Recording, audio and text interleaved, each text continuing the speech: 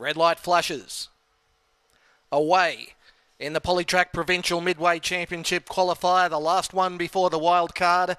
And when they come into view, Angara from a wide gate is burning over with True Crime. Oakfield Waratah pushing up on the inside, take the jackpot. And then came uh, Ausbred Flirt, who's not that far away and nicely positioned on the inside. Leandra Diamond Diesel a bit wide next. And Caradata, Stars and Bars. Dream Hour getting back to a little bit worse than midfield, but is saving some ground the inside. Then the Great Houdini, followed by Sweet Ruby.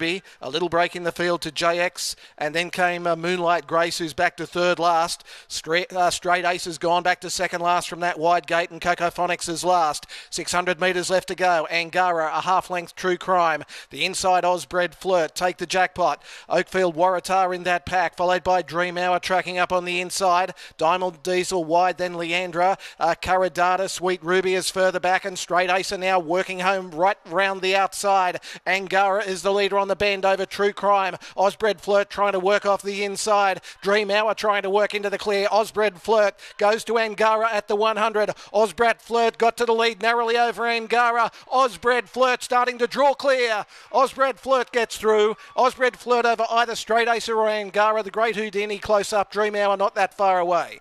And then Oakfield Waratah followed by JX. Further back, True Crime, Caradata. Uh, well back was Diamond Diesel, Sweet Ruby, Moonlight Grace, Cocophonics.